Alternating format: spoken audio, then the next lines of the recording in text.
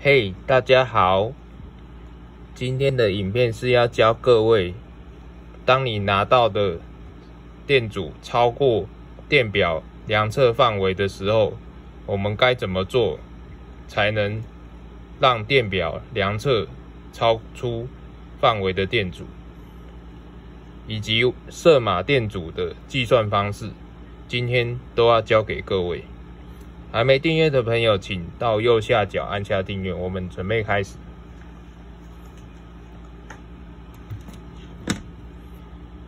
这个电阻是昨天我扩充三用电表电压表的的色码电阻。这个电阻的阻值是一百 mega 欧姆的电阻。问题是我们的三用电表不可能量得到。这么大容量的色码电阻，那怎么办呢？其实很简单，我们就将这个一样的色码电阻全部并联在一起。哦，像我这一手上这一把电阻就是十个，十个色码电阻，一百 mega 欧姆的电阻并联在一起。左边我已经帮它绑好了，啊，右边我再把它并联上去。哦，利用利用这个鳄鱼夹，把它夹上去。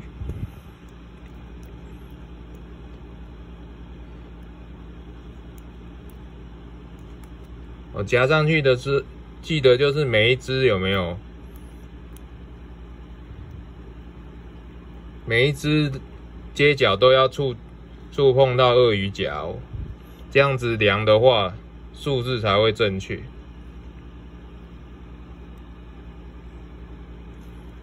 弄好了之后，我们就将三用电表接到欧姆档，然后碳棒去触触碰这这两个鳄鱼夹的金属的位置。哦，你们看到这个上面是写什么？大概十十点多 mega 欧姆。哦，其实原理很简单，就是。因为这台电表它只能量四十 mega 啊，因为我这个待测电阻是一百 mega，那我们就把这个电阻并联在一起。并联在一起的话，就是说我们一百 mega 的电阻，如果十个并联在一起，所所得到的数值会变成一百 mega 除以十，算出来的话就是十 mega 的电阻。然后，所以实际上它的电阻就是十 mega 欧姆乘以十，然后等于一百 mega 欧姆，这样子就可以算出高容量的电阻。好，这是这个是其中一个方法算出电阻，还有一个方法就是用用颜色去分辨这个色码电阻。其实这个色码电阻你们在 Google 网站都可以找得到，你们 Google 色码电阻就可以找到这个东，就可以找到这个资料。而我知。我帮各位已经先整理起来，在一张表格，好，啊我我稍微讲解一下哦。色码电阻它大部分都分成四码或是五码的电阻。那我们刚刚的电阻是中黑紫金，好，中就是代表一嘛，它有一个代码是零到九，就是黑中红橙黄绿蓝紫灰白。后面金跟银就是误差百分，常常都是金跟银，也有也有前面的啦，也有也有后面一码也有百分之一，这个是精密电，这个我们比较少用，大部分的我们的